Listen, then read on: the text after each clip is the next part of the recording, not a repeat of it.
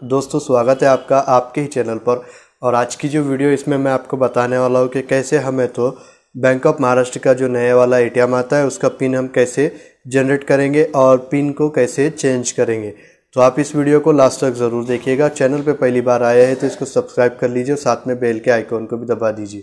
तो चलिए दोस्तों, वीडियो को स्टार्ट करते हैं। दोस्तों, सबसे पहले हमें तो एटीएम कार्ड को जिस पे ब्लैक कलर की चिट्ठी आती है, उसको लाइट की तरफ़ से डाल देना है अंदर। उसके बाद आपके सामने कुछ इस तरीके से इंटरफेस ओपन हो जाएगा। तीन लैंग्वेज में आप इस पर काम कर सकते हैं तो हम इंग्लिश में काम करेंगे। उसके बाद यहाँ पर अपना जो भी पिन साथ में आया था, वो डाल दीजिए।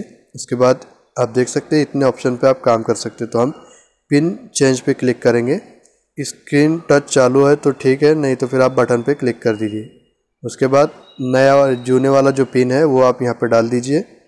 और उसके बाद आप है तो नया वाला पिन आपको यहाँ पर डालना है।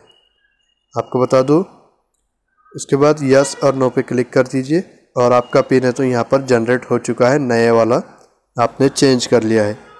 अब हमें तो इसमें बैलेंस चेक कर कर देख लेते हैं, क्योंकि ये मेरा अकाउंट नया है, इसलिए हम इसका भी चेक कर लेंगे पिन चेंज हुआ है या नहीं। दोबारा एटीएम अंदर डाल देंगे।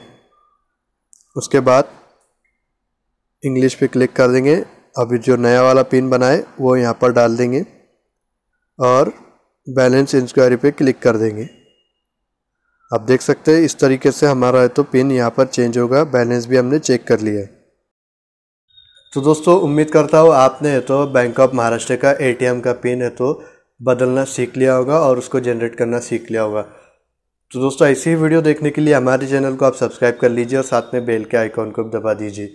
मैं मिलता हूँ आपसे अगली वीडियो में कोई नई जानकारी के साथ तब तक के लिए मुझे दीजिए इजाज़त और आपकी दुआओं में मुझे याद रखिए।